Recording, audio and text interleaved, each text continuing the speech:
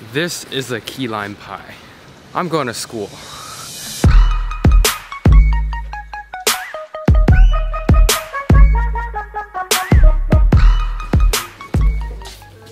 Hi. Is that pot pie or is that really? pie?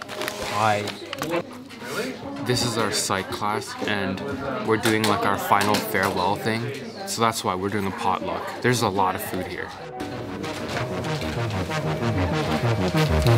Wow.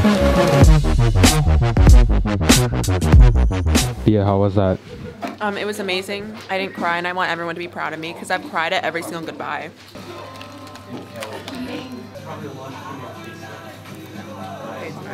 Hey guys, we're here to you know taste test with some random kids key lime pie. What is it? Mm-hmm. Yeah? Mm-hmm. Hmm. Tastes just like someone spent like all his time making five pies. so good. We just have a lot of extra food, so we're just figuring out what to do with it. Potlucks really waste food. Matt, do you want key lime pie? I thought I would escape being ha having to carry a billion things on the way back, but guess what? Our psych teacher just gave us a bunch of stuff. These are just some farewell gifts from my psych teacher. Um, I just put them in a bag so that it would be easier to carry back so that I wouldn't die like carrying the pie and the camera and the board. It's really hot now. It's really hot out. It's pretty much like summer already. I think like the transition between those two seasons, literally it took like a day. Literally morning it was winter and then boom during the like afternoon it was just summer. Beijing's a weird place. I'm so full right now that like, oh man, I can't even stay awake. I feel like I'm gonna like fall asleep or something. That was a lot of food. But earlier our psych teacher just told us a bunch of different things that he wanted us to remember and a couple of those were about gratitude, which is pretty good. It's a pretty good message to leave us with. But it invited me to consider one thing though.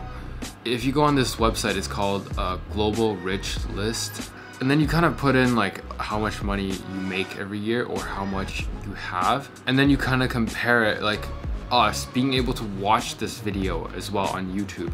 And you compare that you kind of get a sense of how fortunate you are to be here. Like obviously the message isn't to just go out and like realize oh I actually have a lot of money and then go out and splash all your cash. It's not about that. It's about thinking how much you have in comparison to other people and how you can help other people with what you have. So one of the things that I was working on in Filmism before I left was our plan to be completely carbon neutral by 2024. Film does pollute a lot and have a lot of carbon involved, but we're very small scale and it's not like it's not like a really big scale production and things like that. That's why I think it's a very possible goal to reach.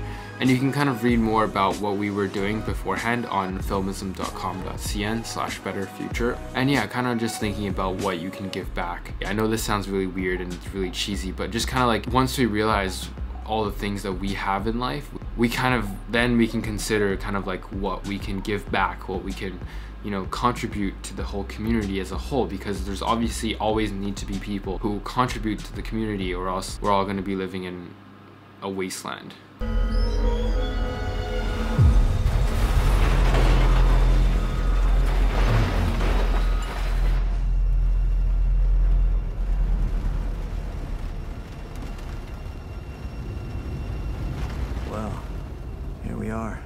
So these past few days, other than studying, I've also been cooking a lot. Like I've been looking at different recipes online and things like that. And I found this really good dulce de leche recipe. And uh, the only ingredient that is needed is condensed milk. So I have this here, I'm gonna go make that now. See you guys tomorrow.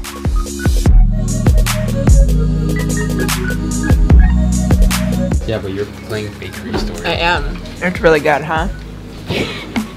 okay.